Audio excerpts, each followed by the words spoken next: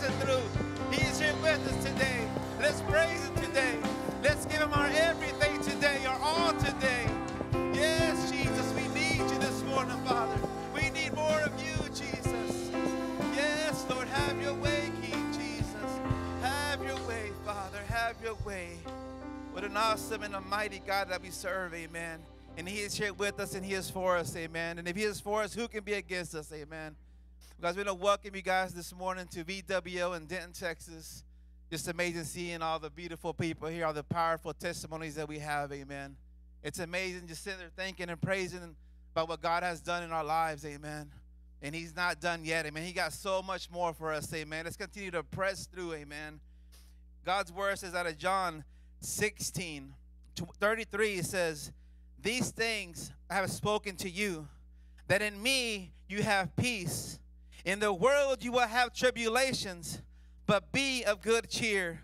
I have overcome the world, amen. That's the God that we serve, the one that already overcame the world, amen. Let's be excited today. Let's be happy today of all the powerful testimonies that He has done, amen. I'll give you mine again. I'll continue to give it, amen. Not to glorify the world, but to glorify God. I was a, a meth addict for 15 years of my life, nine years sober, amen. I give you all the glory for that, amen. All the glory for that, amen. It is by His grace and His mercy that I'm standing here today, praising and worshiping Him, because I could not ever imagine that in my life. I could not ever imagine that I'd be standing in front of a pulpit praising His name, amen. My family, my kids, my in laws are here just serving God together, amen. I give him all the praise and glory for that. And he got staff for you too, amen. Continue to press through, amen, and believe that God has a miracle for you. We're going to have a, a powerful day today in, in, in the Lord. Got people getting baptized today, making a step, a leap of faith, amen. That's amazing what God is doing, amen. Does anybody have a need in this place? Let's pray for that need and pray for this service, amen. Let's pray together. Oh, dear Heavenly Father, we come to you in the name of Jesus, Father, thanking you, Father, for allowing us to be here this morning in your presence, Father God. God, we pray that you would answer every need that's in this place, Father. God, that nobody will go out of this place, or God, not knowing you, Father God. And when they walk through these doors, that they will feel your presence upon them, Father God, because we serve you and only you, Father. And God, we thank you for all that you're about to do through this place this morning, Father God. We pray for your mighty move and your mighty anointing upon Pastor's word this morning, Father. God, we praise you, we glorify you. In Jesus' mighty name we pray. And we all said, Amen. Amen. Amen. Now is the time to where we get to give into the kingdom of God. Amen. Amen. How many of us know that money's spiritual?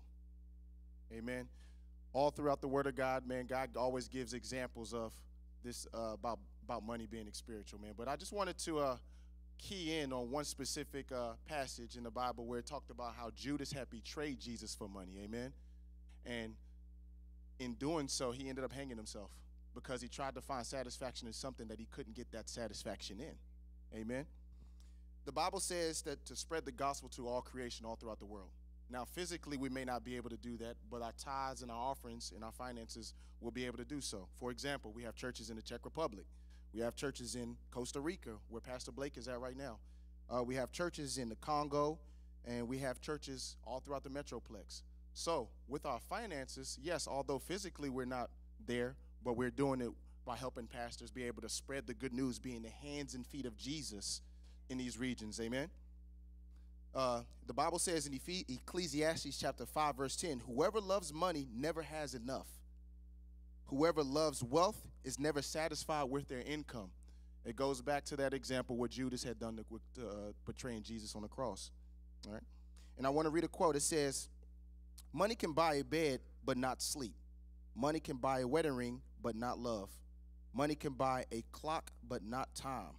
Money can buy an education, but not wisdom. Money can buy jewelry, but not beauty. Money can buy insurance, but not safety.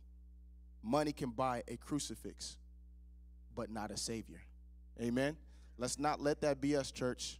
Let's continue to give with a giving heart, knowing that the gospel is being spread throughout the whole world. Amen. Amen.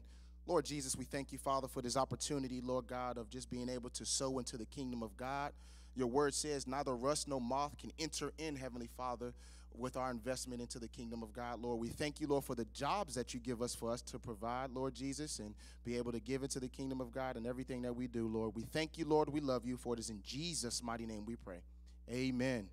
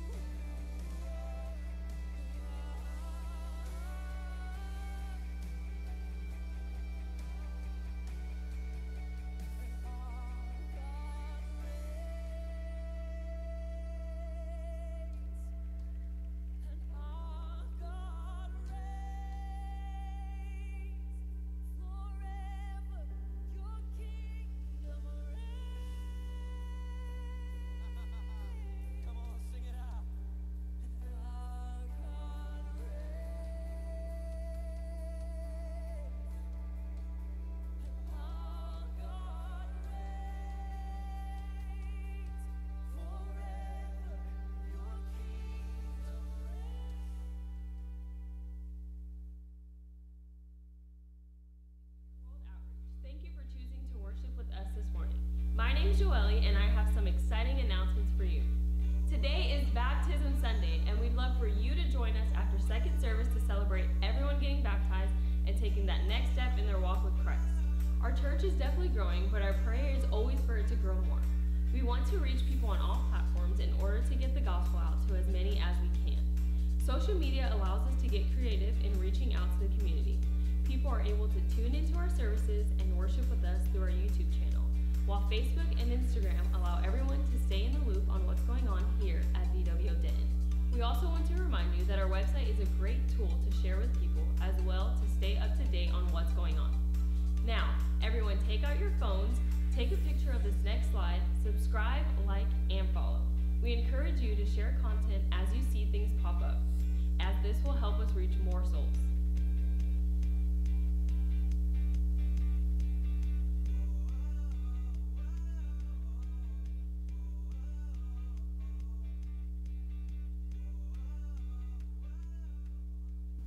Praise God.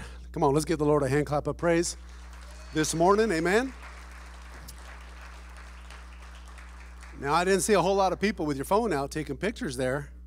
So hopefully you got it. Amen. I can't see without my glasses. And of course, our screen was off, so I couldn't see it myself. But if you need that information, you can feel free to ask at the at the sound booth uh, later on today, or maybe we can post it at the end. But what a wonderful day it's going to be, amen. With uh, so many people being baptized today, it's going to be an awesome opportunity. I see family here today, amen, that are supportive. And uh, I want to ask you a question: Are you awake this morning?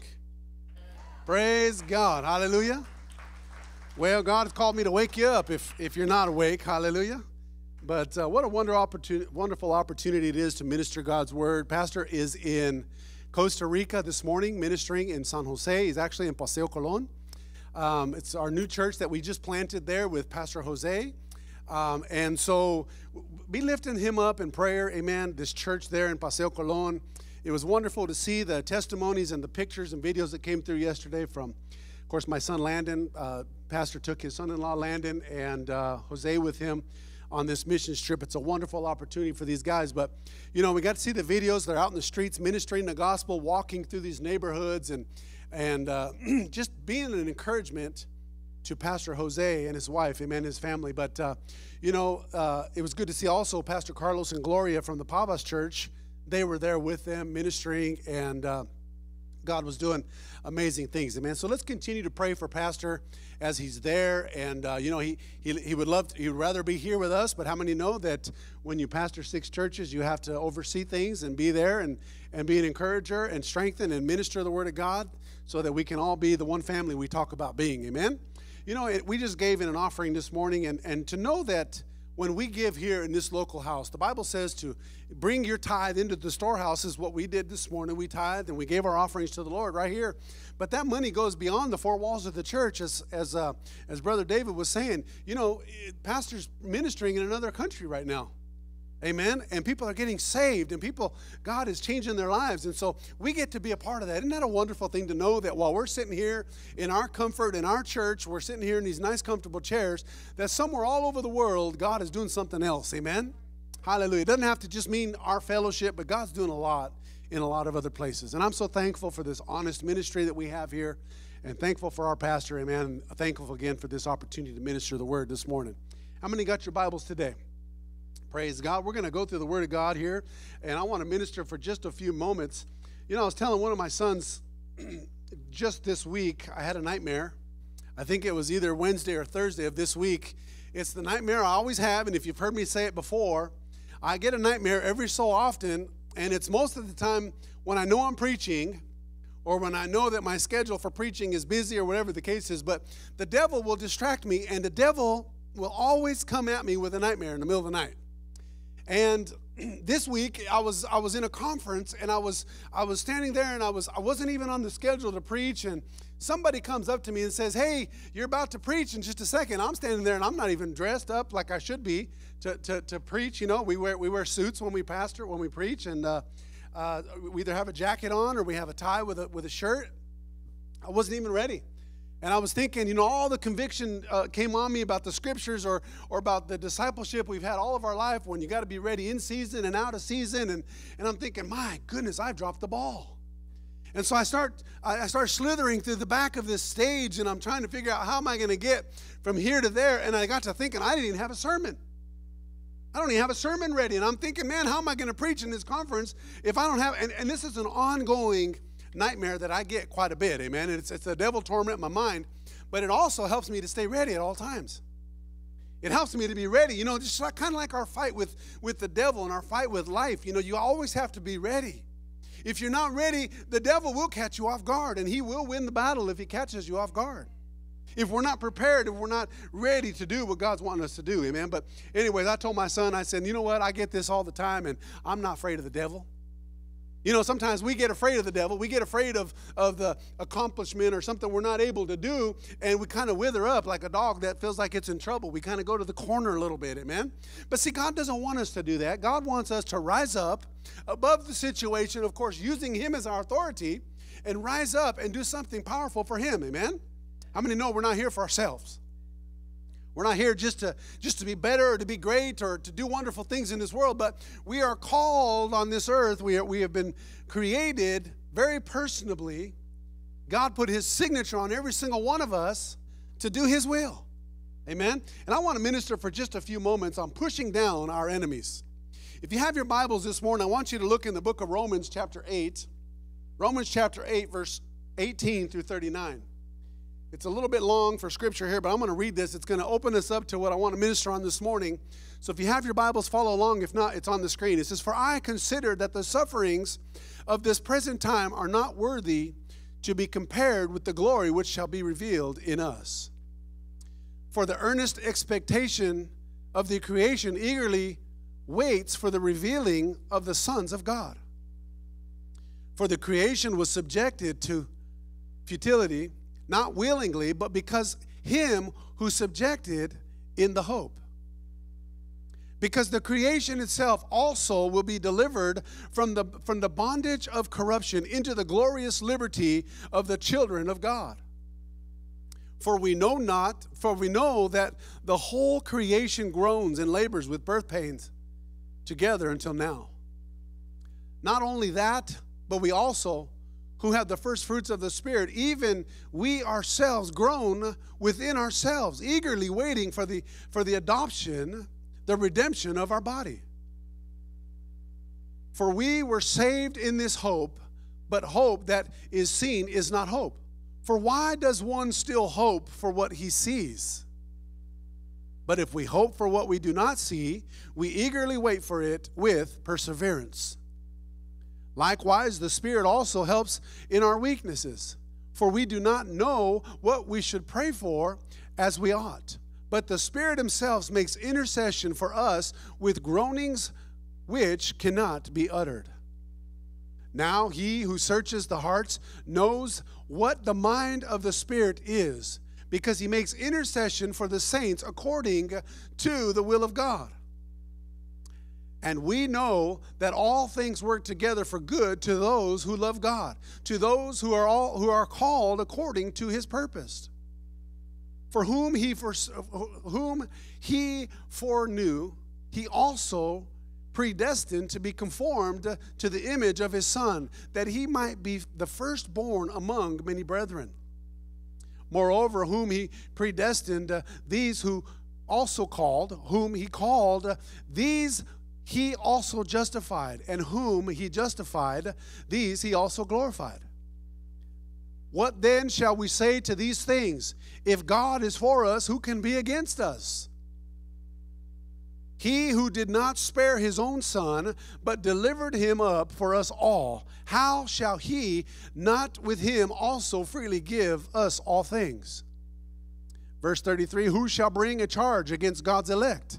It is God who justifies.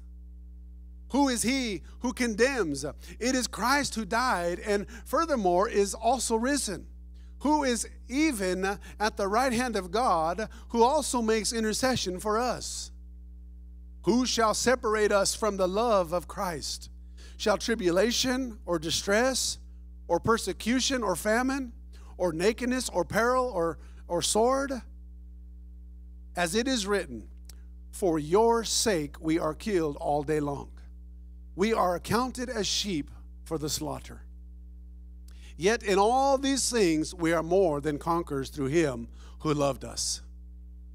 For I am persuaded that neither death, nor life, nor angels, nor principalities, nor powers, uh, nor things present, nor things to come, for height, nor depth, nor any other created thing shall be able to separate us from the love of God, which is in Christ Jesus our Lord. Hallelujah. Amen. Let's pray. Let's give this service to the Lord. Father, we thank you, Lord, for this morning, God. We ask you to be with us today, Lord. Be with me as I minister your word. Use me as an oracle, as a vessel of the Holy Spirit, Lord. I thank you for using uh, people who are just have a heart that, that's willing, Father. I thank you for it, God. Touch our hearts, touch our minds. Uh, we give you praise for this service. In Jesus' name we pray. Amen. Hallelujah. Praise God. So I'm telling you, this, this passage of scripture is pretty awesome. But you know, I also read in Psalms chapter 44, verse 5, it says, it says, Through you we will push down our enemies. Through your name we will trample those who rise up against us. You know, I got to thinking that, and that's how I titled this message, Pushing Down Our Enemies. Amen. One of the questions I want to start off by asking you this morning is I want to ask you if you're winning the battle that's going on in your life or are you losing? Are you conquering or are you being conquered in your life? You know, and we need to understand this today that, you know, in our walk with God, even if, you know, in our walk in this life, we're either winning or we're losing. You're either going up or you're going down. You're, you're, you're you know, I, I love to, to say that we're all just going up all the time, but the truth of the matter is we're going through some difficult times in our life at times. Amen? Am I alone today, or is there other people in this place where you go through trials? You go through some hard times. And, and you know, I'm not asking this condemningly, or I'm not asking you this because I want to be negative this morning, but I'm asking you this to bring uh, into focus the reality that we are engaged in this thing called spiritual warfare. Amen? It's a battle. It's a battle for your life. It's a battle for everything that goes on in your life. Every gift that God has ever given you, there's a battle that's going on right now. And the devil is at work. Uh, he's, he's at work to destroy you. And that's why I ask these questions today. You know, listen, there are powerful spiritual forces that war against you and I as believers today. These are demonic forces that come against us. That's why we bind sorcery. That's why we bind witchcraft. That's why we take authority over, you know, things that go on in our life. Lord, protect me from wicked people today because there's always somebody in this world that is out to get you. I'll say it real loud. Amen. Hallelujah. Amen. Please don't make me get off this stage so early. I'm going to preach this morning. I'm going to let God use me this morning. Hallelujah. But I know for a fact that you and I, as believers, we're going through some things in our lives. And sometimes all we need is just a little pinch. My mama used to walk behind me and pinch me. And then my mama realized that that little tiny pinch didn't work anymore, so she got one of those little souvenir baseball bats. And then my mama graduated to a cast iron frying pan. Because how many know we start off as babies, the good old sinners as babies, and then we grow up to little toddlers, and they call that the terrible two generation. Now it's the terrible 22s generation, amen? But the, the terrible then you grow up to be an adolescent, then all of a sudden you're a teenager, and all of a sudden you know everything there is to know about everything in the world. Amen? I mean, I know you guys don't live like that, but I did when I was a kid. So my mom had to graduate from the pinch to the belt, from the belt to the stick, from the stick over to the cast iron frying pan. Amen. And I am proud to stand here before you and tell you that the frying pan, it worked marvelous wonders. I'm not talking about a little egg frying cast iron pan. I'm talking about the Mexican version, the one that you heat your tortillas on, the big one, the heavy one that you can't hardly hold with one hand. Some of you Mexicanas, you know exactly what I'm talking about. You have one at home. And you've probably used it on your children at times. I see your heads nodding up and down. And I'm not looking at you, I promise you. I'm not going to get into that one. But the frying pan, it worked for me because I was one of those kids that, that did not learn by reading a book. I was not one that learned by, by just trying something. No, I had to be involved in it and I had to be dealt with. And that's exactly the way I live my life today for God. I cannot just walk through life believing a certain way. I cannot just walk through life thinking that God's going to do everything wonderful for me because I am smart enough to know that the world is like the frying pan. Amen? It'll either make you or it'll break you. Hallelujah. And the frying pan that I walked into, it saved my life. Glory to God. You see, the world today, we got a couple of things that we, uh, there's a couple powerful spiritual forces that war against you and I as a believer, and one of them is the world. It's the spirit of the age that we live in today. How many know that the world is a, is a real thing? It's, it's, it's, it, things are going on around us that we don't even understand. And even when you hear about it and it's explained to us, you're like, I can't believe that's even there. Sometimes my wife asks me, you mean that exists? Are you serious? That really happens? Number two is our flesh. That's from fallen nature. You know, we walk into things and we're so easily tempted. You know, the devil, he'll just cast out a little little treat out in front of you and then he'll he'll just pull it in like this, you know. Almost not quite as bad as fly fishing because then you see it. But I'm talking about where it's just pulled in real slow. And that's how the devil will do. He'll say, Well, I'm just going to cast it out there and I'm just going to see exactly what it's going to do. You know, I like the attitude that's a little bit different. Pastor Paul, him and I, we grew up together as little boys, and he was telling me a story the other day. And it was so funny because as he was telling me the story, I said to him, You know what? You've always said this. Even when you were when we were little boys, you said this to me. And one of the things that the, the, what, it, what it was, what he was saying was, when he took his granddaughter, his daughter fishing for the first time, he said, I used to tell her that when I casted my line in, that that's the right spot. That's what he would say to her. That's the right spot. See, many times in our lives, we think we're in the wrong spot, but you know what? God wants us to know we are in the right spot. And one day his daughter asked him, Well, Dad, you, you told me that that was the right spot. He goes, No, no, no, now this is the right spot. And I just thought it was kind of funny because I remembered him saying that even to me when we were little boys running in the streets like little hellions. Amen? But that's the right spot. You know, the world will put you in places where you don't even know you're going. You, before you know it, you'll wake up and you'll be in a pond somewhere, just completely blown away. How did I get here? What happened to me? What's going on in my life? And it's because the world has its way to destroy our flesh. And number three is the devil. How many know that the devil is the instigator of evil? Oh, everything could be wonderful. Things could be great. Oh, my goodness. Oh, man, you could be at the top of the world making good money. You could be doing good things, driving a nice car. And then all of the sudden, the devil will bring a luring spirit. Something will happen. Something goes on in your life. And all of a sudden, his tricks begin to work in your life and cause you to go off into the world. You say, that would never happen to me. What's amazing how it does happen, you get a phone call, someone you haven't talked to in 20 years, they say, hey, how you doing? Oh my goodness, man, it's good to hear from you. That's great. How are you doing? Yeah, it's wonderful. Hey, man, we're having a get together over here, me and a couple guys that we used to go to school with, and we're all going to just get together, man. We'd like to invite you. Come on out and be with us. In your mind, at that very moment, you're thinking to yourself, hmm, this is not going to be good for me. But inside you say, "Well, I want a little bit of the world. I want to be I want to be a part. You know, I'm a Christian. I can go show my love to these people. I can be a part of what they're doing and I can inter- intermingle and I can, I can get in there and get involved and and you never know. God may just use me to minister to them.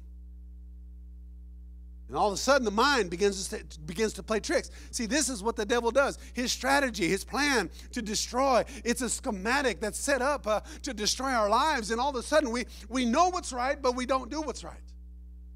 Now, I don't know about you guys, but that's me. That's the way I used to be when I wasn't saved. And sometimes, even being saved, I catch myself going places or doing things that I probably shouldn't do in business. Sometimes you say things to people. I, am I'm dealing with people all day long, and there's sometimes I'll catch myself before I, before I say a little tiny white lie. And I'll catch myself and say, No, that is not right. Don't say that. Just say it. And I've had to learn the hard way that you just say it and let right be right.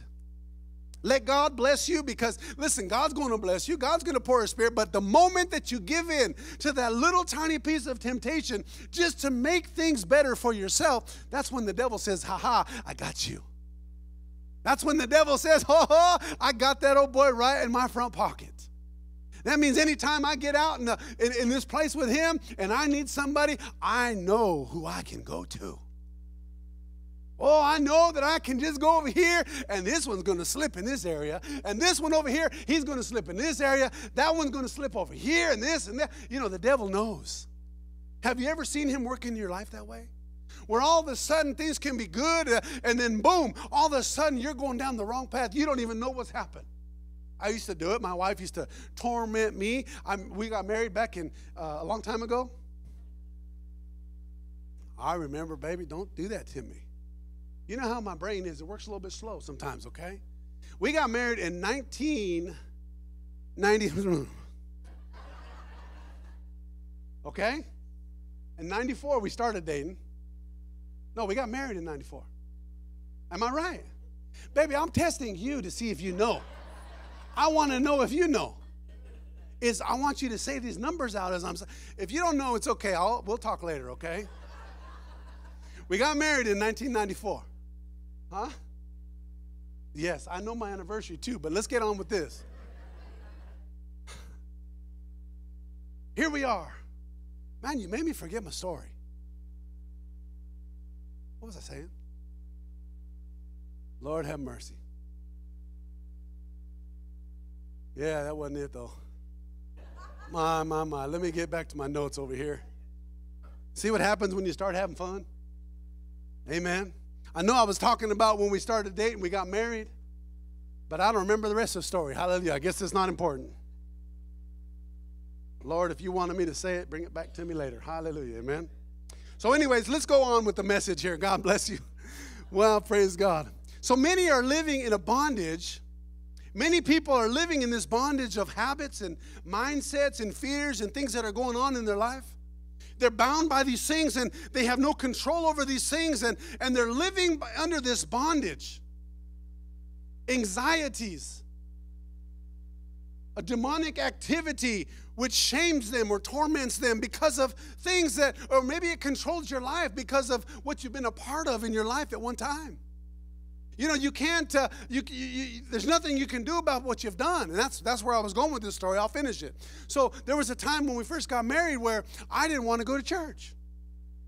I really didn't want to go as much as, you know, I went and I, I just did my thing and I went to church. I was rebellious as, as all get out, like some people that come to church today. And I sat in the back of the church with chewing tobacco on my lip. I'm not telling you this this morning because I'm proud of it. I'm telling you this because I'm ashamed of it and I see what God has brought me through. And I sat in the very, very, very back row back there, and I would chew tobacco all over my teeth. I didn't care what her dad said, what anybody said. I didn't care because I was so rebellious and I was going to live my life the way that I lived my life. And that little tiny vice that I had in my life, it was just an open door for the devil to work in me. And I gave him that authority in my life by saying, I'm going to do what I want to do. Now, I know nobody in this place says they're going to do what they want to do and you just do it, but I was that person. And I said, "Oh, I'm not going to the, to, I'm not going to church." And then I'd be on there on the TV watching the Bronco games, and I'm a diehard Bronco fan, and I'm, I'm sitting there watching, and the moment the door would shut, I would jump up, and I'm up there in, the, in my recliner. I got the, the cheese dip and the chips and all the good stuff out, and I'm having a good old time while she's at church. But down in my spirit, I'm vexed because I know I should not be doing that. But I already gave the devil a, a little tiny piece of my life to, to, to get in. So little did I know, time goes by. You know, I'm a Bronco fan, so I, I, can't stand the Kansas City Chiefs, and I can't stand the Raiders, and I can't stand, you know, all of our rivalry teams, just like you guys can't stand the Washington team. You can't stand Philadelphia. You know, it's a rivalry between your teams. And, and but now, guess what? My wife is a Kansas City Chiefs fan. Because every time she'd see me watching that game, she would say, I hate, I hate the Broncos. I hope they lose. And she would do it to vex me. And I would say, Oh, God, you're going to have to help me. And God says, You can't even help yourself. How am I going to help you? And every time I'd be there, I'd be excited watching the game. That's why now you know me. I can't even go with you to watch a game because I get so nervous and excited. And I'm so passionate about my team, but I'm afraid my wife's going to walk in or somebody's going to walk in and say, like Linda Polk, I don't know where she's at, but you know, she loves the Patriots. She's not a bandwagon Patriots fan either, by the way. Juan. But I can't be there when somebody's saying, Yeah, go Patriots. I can't do it. But this one here, you know what she does? I hate the Broncos. You know why? Because it takes her back to that place in our marriage where I was a failure. It takes her back into that place. Always reminds her when I'm watching that ball game, she, she'll walk by. Who's playing the Broncos? She don't care about what's on that TV. I can't even get her to look at it. Baby, come on over here. It's so romantic if we watch this game together. Nothing. Baby, please, come on, watch this game. Nope, I hate the Broncos. And for the rest of her life, she's probably going to hate the Broncos because it takes her back to that place in my life where I was an absolute, I'm just going to say I was a loser to myself. I'm not saying if you're battling something that you're a loser today. I'm just saying when you know you're not doing what you're supposed to be doing, there's a conviction, there's a hurt, there's a pain that comes along with that. And it took me many years to realize, and now I just respect the fact that if I'm going to watch a football game, I'm, I'm going to really stay quiet about it. I'm going to stay quiet. I'm not going to go to your house and hang out. Uh, you notice me. I, I, don't. If you ever say anything about a football game, I'll tell you, hey, don't tell me the score. I got it recorded. I'm still on last week's games. I haven't even watched them. I'm still learning. I'm still watching because that's just how I am. But when you give the devil an inch, he will begin to take over your life. He'll begin to destroy you. You see, many of God's people, they're blinded to the fact uh, that they are to, that they're to be in control. They're blinded to the fact uh, that they have authority in their life over the spiritual matters. They don't realize that, yes, the devil can come at you, the devil's plan can hit you, but they're supposed to be in control of the situation.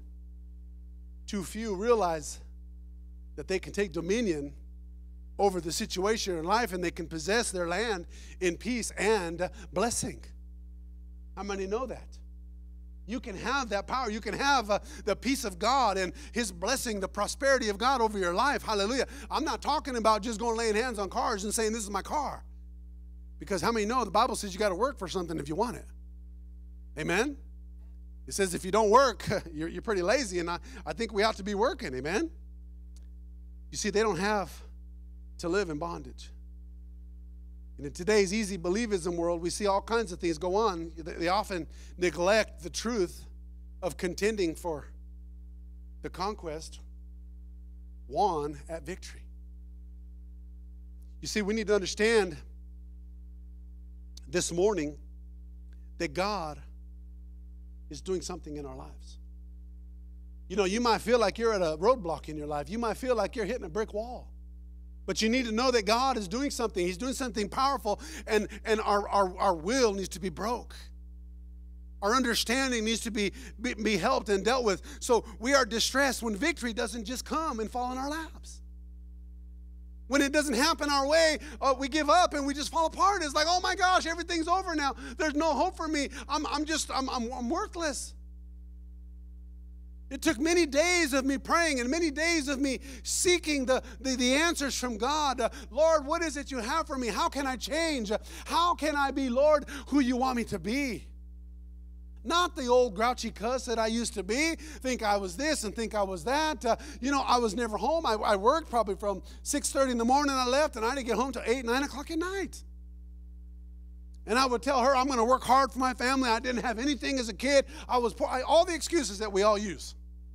I've never had this. I never had that. We never owned a house. We never drove nice cars. We never this. We never that. You know what? None of that stuff even matters.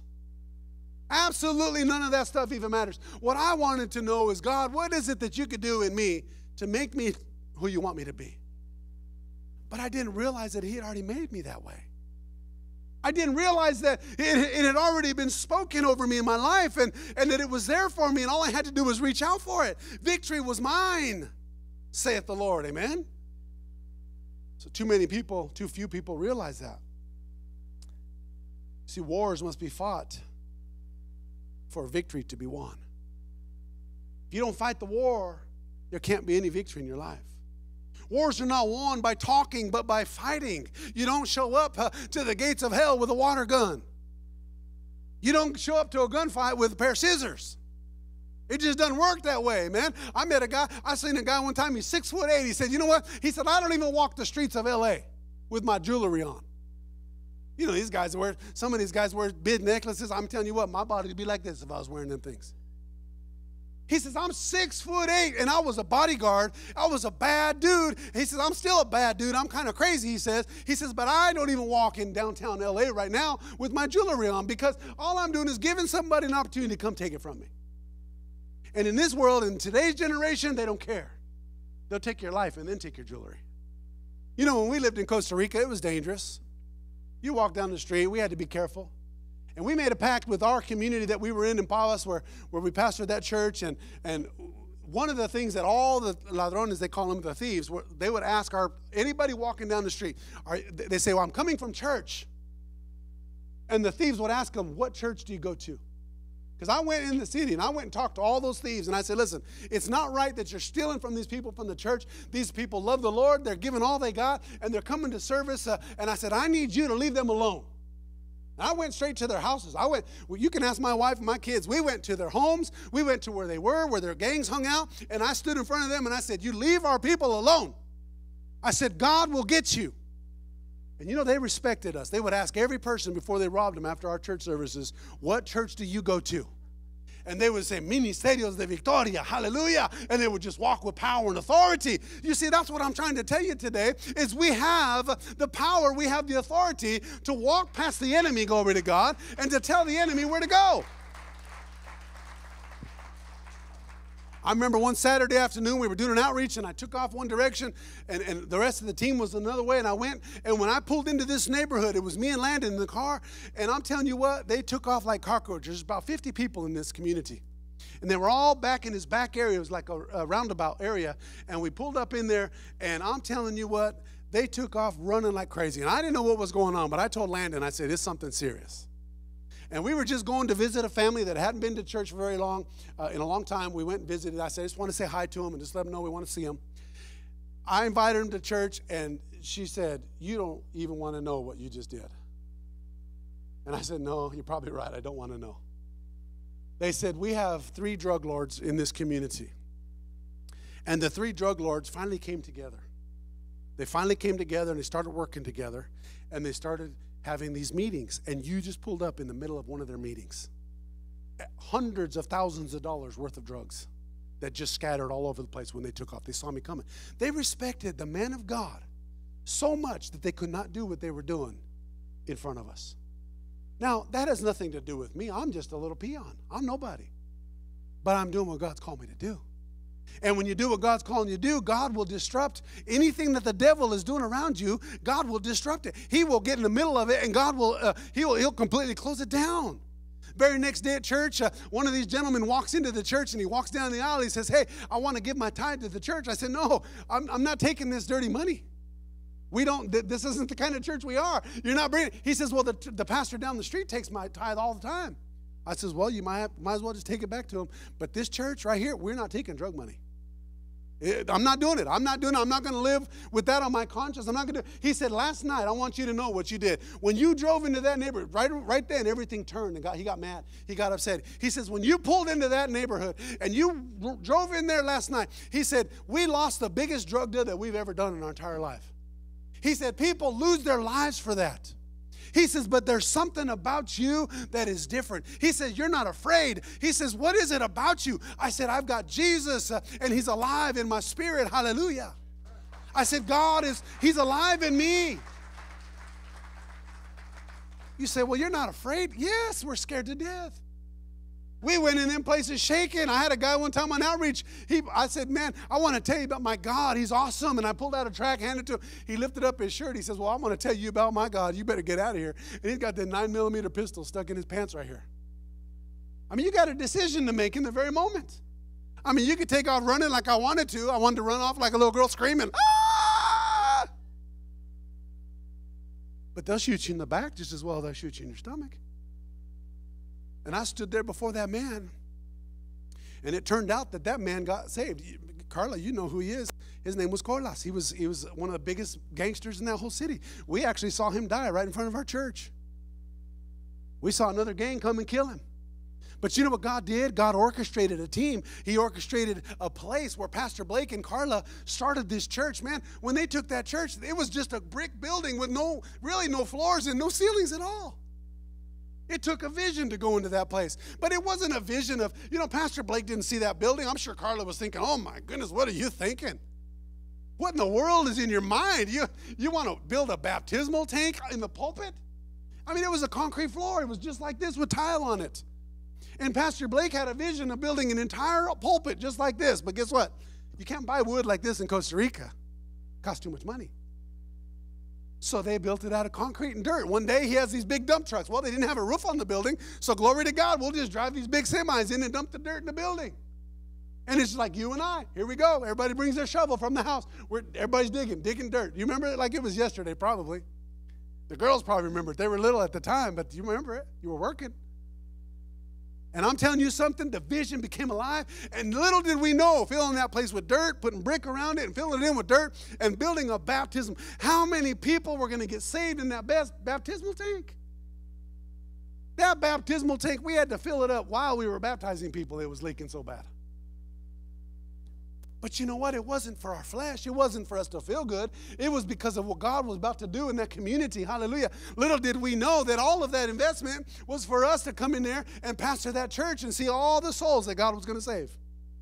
And now we look back and look, pastor's there now. He's it, next week he'll be in that church preaching, the church where God used him to build it. I'm telling you what, God's a miracle working God. Now, does that mean that we've never had any obstacles on the way? Absolutely not. We've had people uh, killed right in front of our church. I was standing in the parking lot one day, and a guy walks in. He says, "Give me your, give me your phone." To the guy I was talking to. I was counseling a guy in the church, right in the parking lot. And I'm standing in there, and a guy walks in from the gate, and he pulls out his gun. He says, "He said, give me your cell phone." And the guy I was talking to said, "No." I said, "You might want to give me your cell phone." He said, "I'm not giving it to him." He said, I'll, the, guy, the guy with the gun says, I'll shoot your hand off and I'll take your gun. He says, then shoot my hand off. The guy said, okay, boom, shot his hand off right in front of me. And I'm talking right in front of me, right here. We're standing in a little circle. People, kids all out in the parking lot having fun, talking. People coming into the church. We're about to start in five minutes. You can imagine. The guy turns around and walks off and takes the phone, just goes, hits it down. And the guy says, Pastor, I'm so sorry, but I can't be in church tonight. I got to go get my hand taken care of.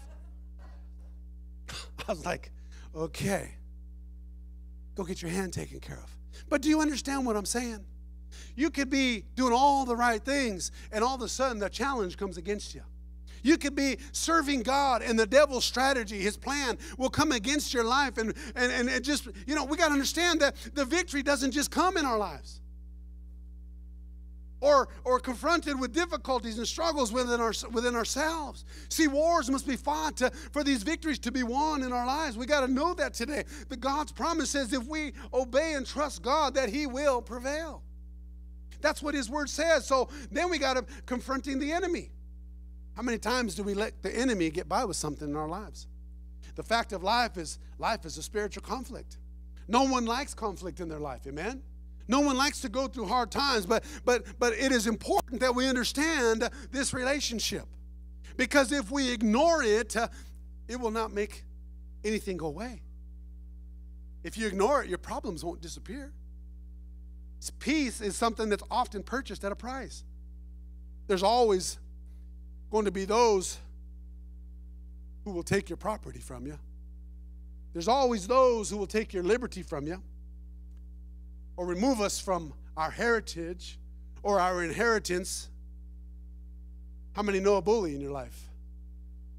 How many's ever known somebody that's tried to destroy your character by being a bully or an aggressor? Let me tell you something the devil does not let up. It don't matter how saved you are in this place. It doesn't matter how well you're doing right now. The devil, he will never give up and just let you be who you want to be. Listen, he must be confronted. The devil must be confronted. Spiritual and fleshly problems do not just go away. It doesn't happen like that. Only to be confronted with other. But but listen, but the Lord was armed with the word of God when he was in that place of being tempted. How many know when Jesus was in the wilderness, he was tempted? And we know the story about Jesus being tempted. And, and but here's the thing: he got victory over the temptation. And what happened? Another temptation came right after. Another one came right after. Sometimes we give up after the first temptation and we leave and we were gone for two, three months. We don't want to talk to anybody because it affects us so bad. It destroys our character, it destroys who we are. Number three, a surpassing victory. The scripture we read this morning says we're more than conquerors.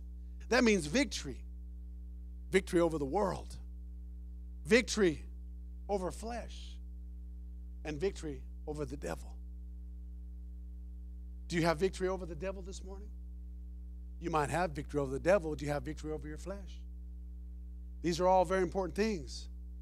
See, God has already placed the strength to conquer in every one of us, as I mentioned earlier. He birthed us this way. He gave us this, this gift when, when we were born, when He created this. This is why He sent the children of Israel into Canaan. He knew exactly what would happen, that they would win. You see, whatever it is you're going through today, whatever trial you're going through, whatever God is allowing you to go through in your life today, just know that you're going to win the battle. But you have to fight for it. You have to rise up against the enemy and take authority over that situation in your life. And we're going to uh, have an altar call in just a moment. So bear with me. I'm going to close. I promise to go quick, okay? So God has already placed, placed the strength to conquer in every one of us. And I want you, I want you to know something. Watch out for the I can't generation. I can't do this. I can't overcome. I can't I can't believe that. I can't do that. I can't I can't I can't. Do you ever hear somebody it's always I can't. Oh, there's no way I could do that. I'm I'm not worthy of that. I'm not able to do that. You know, God said that you are somebody special. He says you are his creation when we give our lives to Jesus Christ, we need to know that it's more than just joining any type of a club or any type of a, a religious atmosphere, whatever the case might be, but it is a personal and intimate relationship with Jesus Christ. And when we have that intimate relationship with Him, no matter what we go through, if we call upon His name, too many times we take no for an answer. My oldest son, Landon, he's not here. He's in Costa Rica with Pastor right now. I remember when he was a baby, we went to, we were season ticket holders to the Broncos, and we took him to a game. And one of our dreams, we always wanted Shannon Sharpe to hold him. Shannon Sharpe was one of our favorite players. Just loved his big rippling muscles. You know, that's why I'm always tormenting Gino. He kind of reminds me of Shannon Sharpe. One time, I said, I want Shannon Sharpe to hold him. And I knew a few people on the team and a couple things, and I was trying to pull my, my weight. And I walked up to Shannon Sharpe. I seen him come out. We waited to the very end, and all the players are coming out, going out to their cars. And I said, There he is. I'll ask him. And he's got his entourage of bodyguards all around him, probably 15 people around him, and they're walking out. He's just showered up. He's all cleaned up coming out. And I said, Shannon, I says, Will you hold my son? Let me get a picture. Kept walking. I thought, Let me try this again. Hey, Shannon, Shannon Sharpe. You met me at John Elway's office a couple weeks ago. Remember me? Kept walking. So my wife says, Give me Landon. And she grabs him from me and she runs up to him, runs to the people. They're, I mean, they're like looking at her like this crazy. This woman's crazy. They were right. Because she didn't do anything but throw Landon from here to there. And Shannon Sharpe had no choice but to catch my son. I know what you're thinking. Landon's so hard headed, that's he, he fell and hit his head on the ground. No. She found a way for Shannon Sharpe to hold that baby. It's not a big deal. Really nothing. I, I can care less about fame and fortune. I can care less about any of that stuff. But you know that I learned a valuable lesson? I'm nobody. I am nobody. Even though I was at the Denver Bronco Arizona Cardinal game, and Linda's not here this morning. Her, she's got a real close connection to the Arizona Cardinals, but I was at the game and season ticket holder there, and I'm sitting there with my boys, and I said, "Watch, I'm gonna I'm gonna yell out a name that John Elway's only gonna recognize because I know him." And it made me feel so good because I yelled out, "Hey, Johnny boy!" And I was sitting five, six rows back behind where he comes out of that visitor tunnel. And he looks up at me and he looks at me and he waves, he goes like this to me with his finger. You know, and for us in sports, we're like, whoo, yeah, he knows me. But who am I? Who am I? I'm nobody. And sometimes if you want to get somewhere in life, you got to be a little bit aggressive. Sometimes when that bottle has you taken over, Kristen, I'm sorry. I'm gonna. I, I promise. Only three more hours. I, I promise. When that bottle has you, there comes a time when you have to say, you know what, bottle, no more. And you got to break it. You got to make a fool of yourself. Throw it in the trash. You got to do something about it. You got to walk away from it. And you got to talk to him. You got to say, You're going to stay there. You have no power over me. You're not going to win this battle because I am a child of God.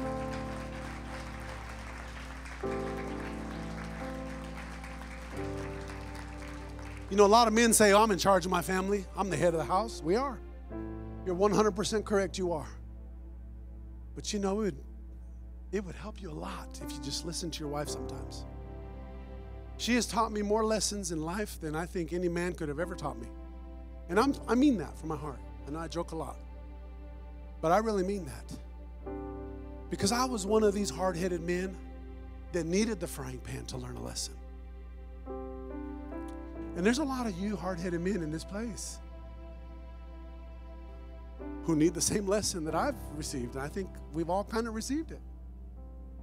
But when my wife speaks wisdom into my life, you know what I do? I listen. Because I've sat back and watched the fruit. The Bible says we're known by our fruits. If there's no live fruit in your life, then you got to reconsider what am I doing?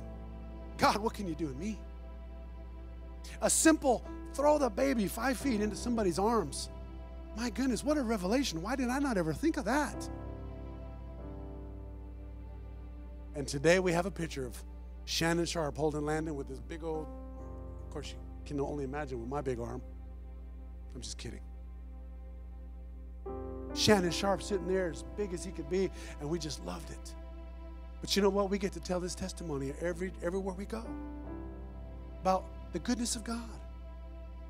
God will give you the desires of your heart. It's not about the Sports Center highlight. It's not about being the greatest person you could ever be, but it's God, how can you use me? Have if I could have every head bowed and every eye closed for just a moment. This morning, I know I went just a little bit long, and I, I promise I'm gonna get better. As our heads are bowed and our eyes are closed. You know, Philippians 4:13 it says I can do all things through Christ who strengthens me. You know, and if you'll just believe that scripture and live right for God, it will blow your mind. You see, because the moment that you and I are born into God's kingdom, we need to know that heaven's strength resides in us. It resides in us. And today, God has a very special purpose and plan for all of us here today. He knows exactly who you are, what you are, and what you're going through. It feels so good at times to be special to somebody, to be known or recognized by somebody. Those are all wonderful things. You go through life and you meet very important people. But there's no person more important than God. Jesus. The Spirit of God that comes into our church services, that makes Himself so real to us in this place. And we're here today with an opportunity to surrender to God. And I want to give you that opportunity this morning. You're here today, you're not saved. You say, Pastor, I'm away from God. I'm not living for Him today, but I want to receive Him as my Lord and Savior. If that's you, I want you to lift your hand up, put it up, and put it right back down as high as you can. Don't be afraid, don't be ashamed. Just put it up and put it back down. I want to pray for you. How many all over this place, from left to right, front to back? Just put it up, put it right back down. Praise God. Thank you, Lord. You said, Pastor, I've been struggling with some things in my life. I'm going through a difficult time. I'm, I'm a little bit hard headed. I, I've, I've been through that school of hard knocks that you're talking about, and I really need God to help me. I need a miracle in my life. If that's you, I want you just to put your hand up, put it, put it up, put it right back down. Say, I see myself going in the right direction. Amen. I see these hands.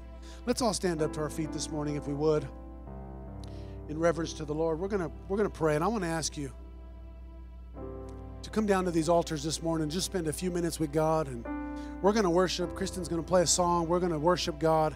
And I want you to lift your hands up to him and worship him. Open your heart to God. Give him the desires of your heart. Tell him, God, this is who I am. He knows already, but tell him. And say, Lord, what can you do with me? How can you use me? Let's pray. Let's come forward this morning.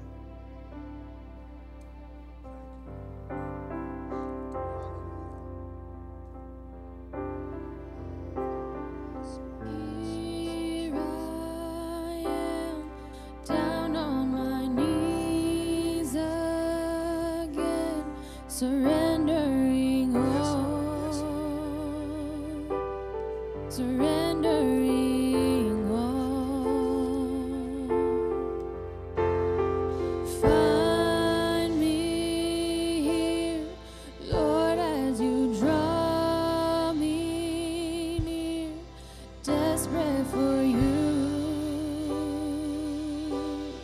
I'm desperate for you.